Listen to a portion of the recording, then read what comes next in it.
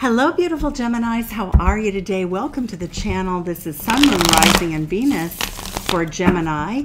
This is strictly how your person of interest with whom you interact is thinking, feeling, and what they may do, their possible actions. So let's look at the bottom of the deck. Three of Swords, Gemini, what's going on? Is your person in a third party situation with you?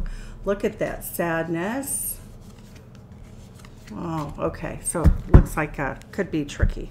Okay, so the current situation with your person, in terms of how they feel about you, is that they are invested in the relationship. Seven of Coins energy is Taurus. Three of Swords is Libra. Strength card, their attraction to you is very, very powerful. They like hanging out with you. They want to be with you. This is a major arcana card. It's a very powerful attraction. The infinity symbol says that you may have visited one another in a number of lives. You may have known this person, but this person's attraction isn't going anywhere. And that this is Taurus energy, very fixed energy. So their emotions do not change easily. Bringing you into the reading, this person is very focused on their work, on their coin, on making their life better. They're just definitely working at mastery and manifesting in the recent past, the energy is a Ten of Swords. So in the recent past, it does look like there was some sort of breakup. It looks as though there was a parting, a separation of some sort the best that can be achieved at the current time. Beautiful energy, Cancerian energy. Your person's coming to see you. Quite literally, this is the Emperor driving the chariot. This is the best that can be achieved in a reading. It's called the crown of the energy.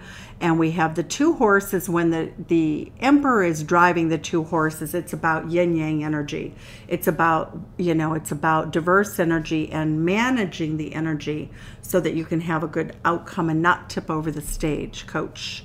So, in the near future, the energy is your person is going to take a bit of time. Uh, Pisces energy, they're going to be really thinking a lot about the situation. They're trying to see how to view it differently. They're viewing it differently. They're trying to look at this in a very spiritual manner, is what I'm getting, Gemini. This is Cancerian energy. Very nurturing energy, by the way. In the reading right now, what we're seeing is that this person has walked away from the relationship, or they will in the near future. Um, this energy really speaks to the fact that they've disengaged emotionally with you. It looks as though that happened over here. They still have fire in the belly. I mean, it's a weird reading because I don't see them leaving the relationship in terms of talking about leaving, making plans to leave. It's more like, well, I don't know what to do, so I won't do anything. And it does leave you feeling very alone. But what we're seeing here is that your person does look like they walk away from the relationship. That's where the broken heart is coming in. They're thinking about that right now. They're not in the energy yet. But if something doesn't change about the third party situation, the Ten of Swords, something has to change in their life to make this relationship work. And right now, for those for whom I'm reading, it looks as though they don't think it's possible. They feel as though there's something that they have to deal with. Again, I feel like this is very much, they could just simply be married to someone else. So we're going to clarify the cards so we can really better predict what's what the meaning of these cards is. So, but we see your person, you know, looking into the future, feeling as though they're at a crossroads, feeling as though they still have fire in the belly. They still want romance with you. So let's see. What is the Seven of Pentacles energy and why is it here?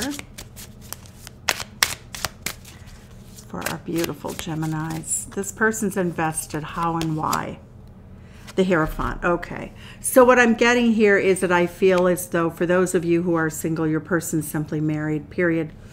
You know, the Hierophant energies shows that, you know, they're very invested in the status quo in their life. They're working hard, but when I get the Hierophant card, it shows that they love you enough to marry you. Um, but it does show that they're feeling as though, you know, they can't go anywhere with this. Okay, so why do we have this strength card here? Why is the strength card here? Maybe dealing with a Leo. The Page of Cups.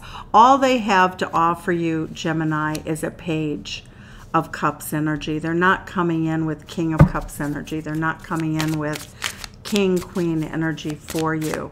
We're not seeing that here. Okay, so why do we have this Ten of Swords in the past?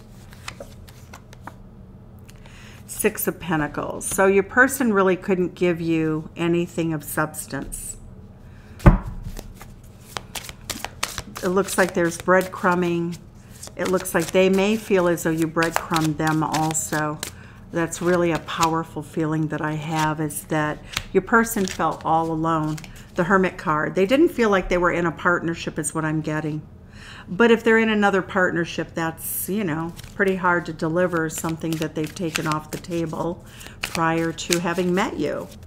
Okay, so the energy of the Queen of Pentacles is clarifying the Chariot card. So it does speak to the fact that the two of you might work together. We have the King of Swords that came out at the same time. Your person's being very strategic, so if you do work together, it looks like working together will continue. A personal relationship, though, may can't come to an end. Oh, okay.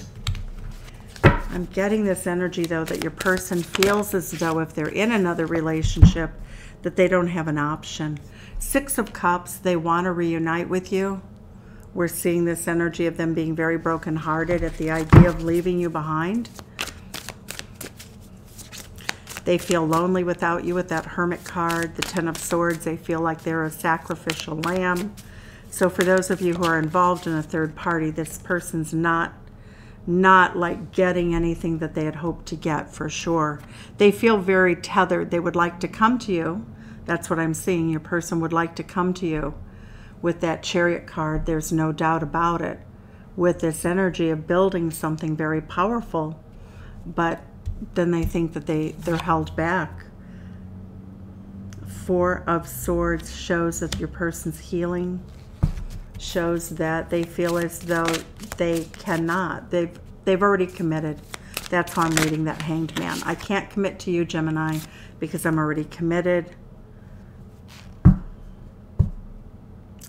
So six of wands, seven of wands energy says that they can't really defend their position here. They're walking away because they're well, they're trying to defend their position to protect another relationship. And the moon card says that, you know, you don't trust that. They're, they're just really very in a defensive position, trying to convince you there's no other option. Uh, the Nine of Cups says that they really have enjoyed their time with you, but the Moon card says that they're still not really going to linger here. Even if you try to hold on to them, I'm not seeing this work, Gemini.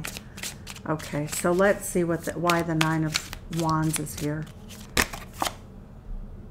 Temperance card.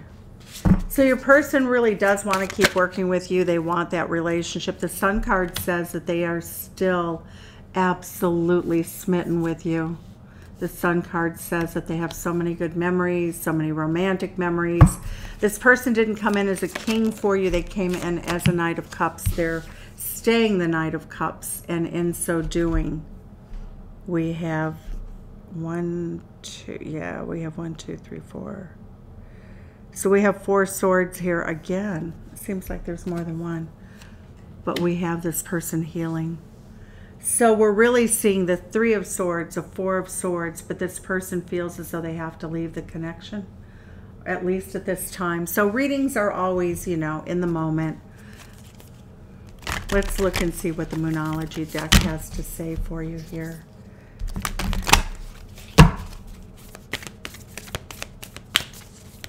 What's the energy for our beautiful Gemini friends with this connection? What will this person do? Nothing will come of this situation. Void of course moon. Take time to breathe out. All right, Jim Jim, I'm sorry to say this was not the best reading that you've ever had, but at least you know where you stand. For those for whom it resonates, if not, you know, go check out your moon rising or Venus. Thank you so much, Gemini. It's been a joy and uh, an honor to provide this reading.